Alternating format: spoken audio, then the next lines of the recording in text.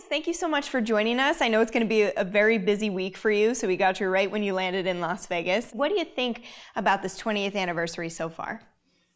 Man, I'm a product of my father's work. It's uh, I did what I learned from him.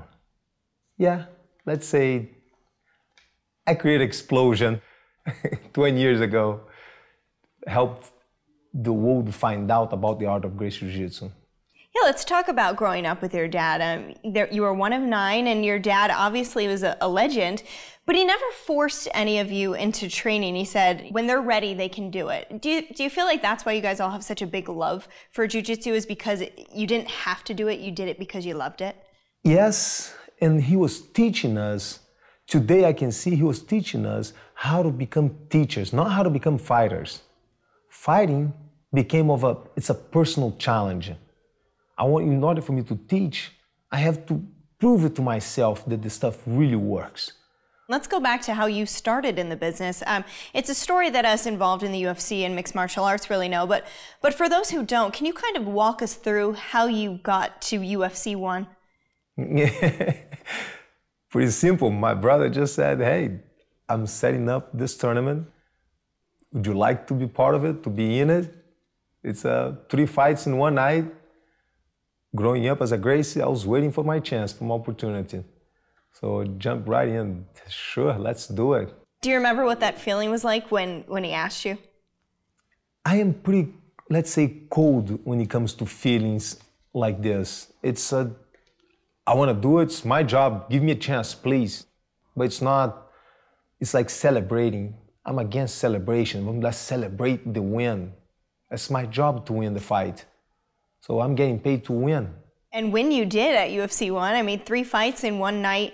After that night, did you really know that the UFC was going to be something special? I knew the UFC was going to be something special before even the UFC happened. It's the world wants to see who is the best fighter.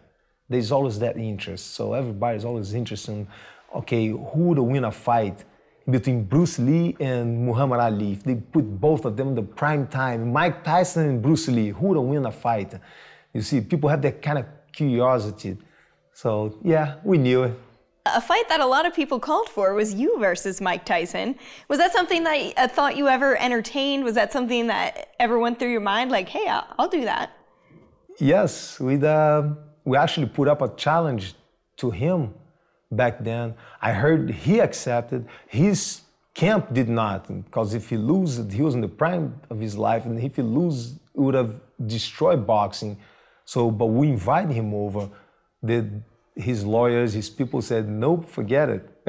how, do you, how do you see that fight unfolding if it would have happened? There's only one way to find out. hey, I did not want to get hit by him.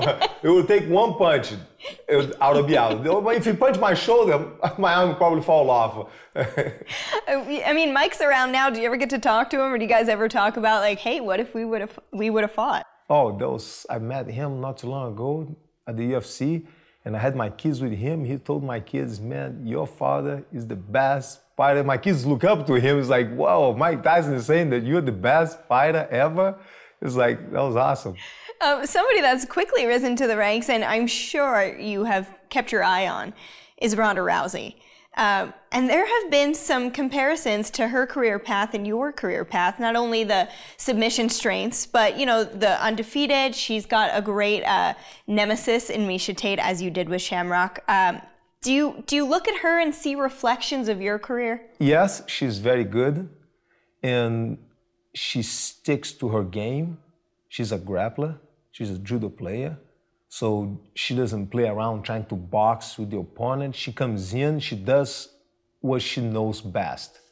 So that's what I did when I was fighting. Yes, I learned other styles for me to know what's coming at me. Not because I'm gonna use, I'm gonna box. She learned box, I can see she, she's been practicing, but she doesn't stand there and okay, let's, I'm gonna knock you out. No, she comes in, take the opponent down, and go for the finish for the submission.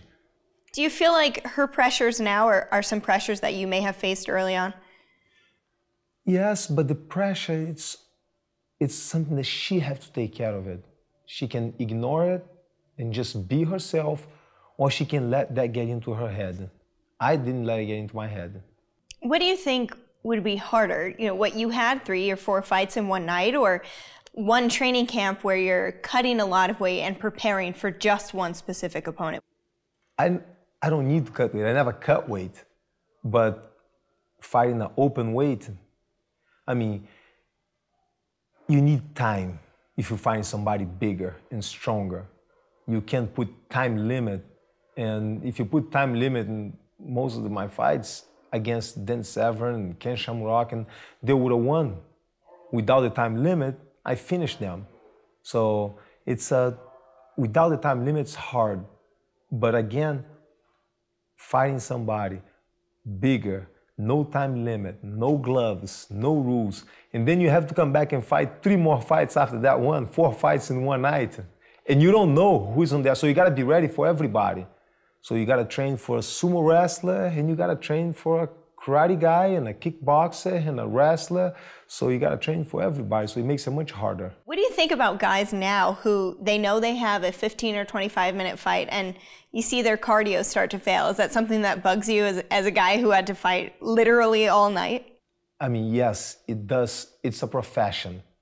It's your job to be in shape. It's your job to show up at that weight division. If you can't make weight, and you show up and you get tired during the fight, one time, okay, it's understandable. Something happens, something's wrong, you're not on your day. But if it happens two, three times, it's your job. You have to be in shape. Something either you're doing wrong or you're something that you're not doing. Yes, it does bother me. What about the growth of the UFC? Is it cool for you to see, to go to these other countries where you don't share the same language or you may not share the same customs, but you all understand and love the same sport? Kids all over the world are growing up now. The new generations is training to like baseball. One day I want to be a professional baseball player. One day I want to be a professional soccer football player. One day I want to be a UFC fighter. Now you know that this it, it made it. It made it. When little kids it's like, wow, man, one day I want to be a UFC fighter, man. Can you hook me up? How old are you again? 10 years old? Yeah, when I can can you let me fight one day for the UFC? Sure, look me up about 20 years from now. 10 years from now, look me up.